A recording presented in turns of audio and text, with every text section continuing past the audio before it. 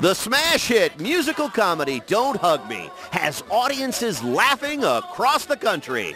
I'm a wild-eyed woman in a crummy town. I want to go to the Mall of America. I never see. He lives in Thunder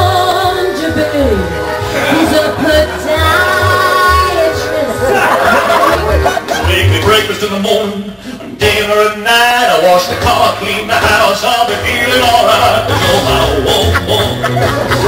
I'm a guy, I fell victim to my Y chromosomes. Oh, that's good. I loved it. I haven't laughed so hard in years. It's just a ton of fun. It was awesome. It was really good. Oh, it was fantastic. Absolutely loved it. I hurt. I laughed so hard. Now for Don't Hug Me. It's a darn good night out at the local bar.